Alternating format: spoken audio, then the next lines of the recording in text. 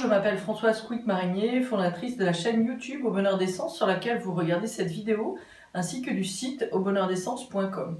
Aujourd'hui, j'ai la chance d'accueillir mon amie et collègue euh, Evelyne, euh, qui est préparatrice en pharmacie. Bonjour, Evelyne.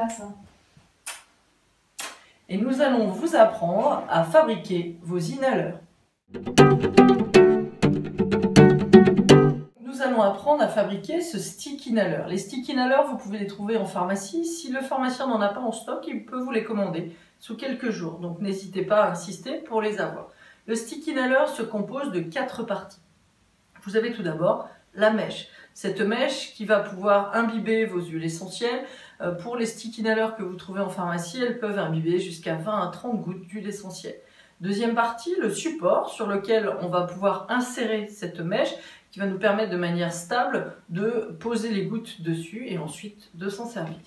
Troisième partie, le capuchon qui va protéger la mèche, qui va aussi nous permettre de pouvoir inhaler au niveau de la muqueuse nasale sans avoir à toucher les huiles essentielles avec cette muqueuse. Donc en toute sécurité.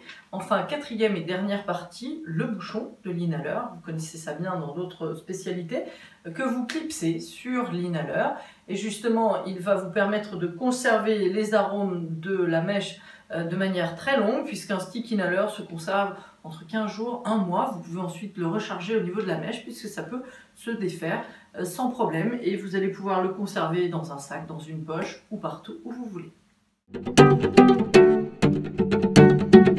À titre d'exemple, nous allons vous montrer comment fabriquer votre stick inhaler relaxant pour le sommeil. Nous en fabriquons régulièrement à la pharmacie lorsque nous avons des inhaleurs. C'est très pratique, rapide et très facile d'emploi. Ce stick inhaler va pouvoir être utilisé chez les femmes, les hommes, les femmes enceintes après trois mois de grossesse ainsi qu'à l'étante après euh, les trois premiers mois, chez un épileptique et chez un enfant à partir du moment où il sait respirer, inhaler, donc à partir de un an et demi, deux ans ou un petit peu plus. Alors, que nous proposes-tu comme formule, Evelyne?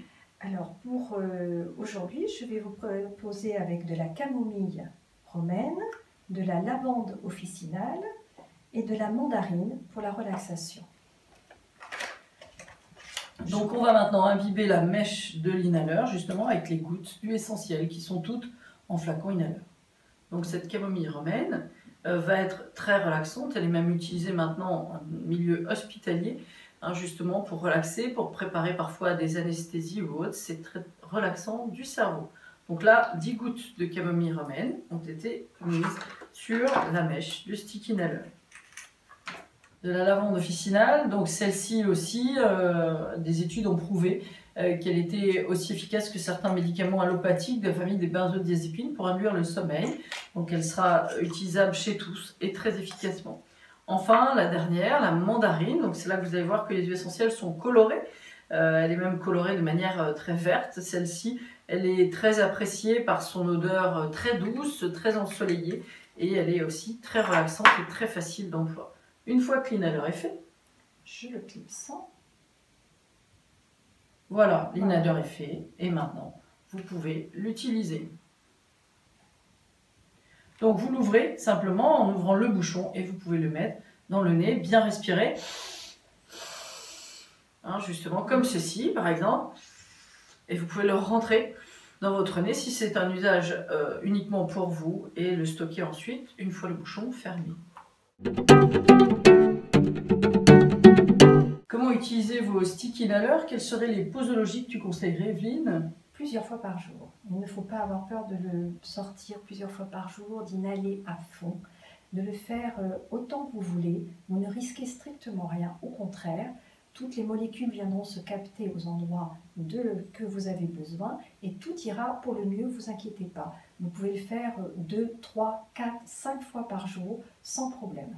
Pour dormir aussi, euh, juste avant le sommeil, si on se réveille aussi la nuit Vous le prenez et vous respirez à fond au moins 3 fois de façon à bien dégager vos voies respiratoires. Voilà, et puis pensez finalement, ces odeurs vont souvent vous rappeler des souvenirs de vacances ou autres, de soleil ou autre. Donc n'hésitez pas à justement penser à tout ça, ce qui vous induira plus facilement le sommeil. Merci à tous de nous suivre sur euh, cette chaîne YouTube. Je vous dis à très bientôt. N'hésitez pas à aimer, à liker.